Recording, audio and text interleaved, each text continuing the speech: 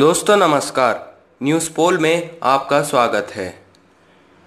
Xiaomi ने भारत में Mi notebook 14 का संस्करण लॉन्च कर दिया है। कंपनी ने Mi नोटबुक 14 के तीन वेरिएंट लॉन्च किए हैं। ये भारत में Xiaomi का पहला लैपटॉप लॉन्च समारोह होने जा रहा है। एम आई नोटबुक 14 तीन वेरिएंट में आ रहा है। पहला आठ जी बी रैम प्लस दो सौ पचपन जी बी मेमोरी, दूसरा आठ जी बी रैम प्लस पाँच सौ बारह जी बी मेमोरी, तीसरा आठ जी बी रैम प्लस पाँच सौ बारह G B memory plus Nvidia force M X two fifty के साथ।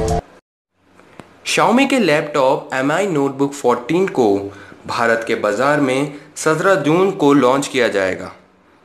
Xiaomi ने Amazon.in, आई डॉट कॉम और एम आई स्टूडियो पर खरीदने के लिए अपना ये लैपटॉप उपलब्ध करा दिया है।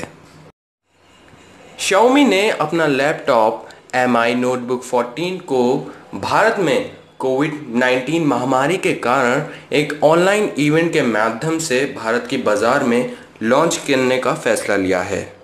लॉन्च इवेंट 12 बजे से शुरू होगा और आप ये लॉन्च इवेंट को यूट्यूब चैनल्स और ट्विटर जैसे सोशल मीडिया प्लेटफॉर्म पर लॉन्च होते हुए देख पाएँगे।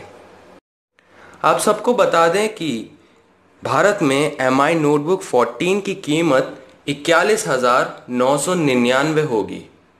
शामी द्वारा मोबाइल मार्केट में भारत में अपना दमदार प्रदर्शन करने के बाद लैपटॉप का लॉन्च करना ये दर्शाता है कि अब शाओमी लैपटॉप मार्केट की स्पेस को भी भारत में पूरी तरह कैप्चर करना चाहता है। ये लैपटॉप भारत की मार्केट में आगे चलकर कैसा प्रदर्शन करेगा, ये तो वक्त ही बताएगा। आपको अपडेट रखना ही न्यूज़ पोल चैनल का काम है, इसलिए हमारे चैनल न्यूज़ पोल को सब्सक्राइब करना ना भूलें और बेल आइकन दबाना ना भूलें।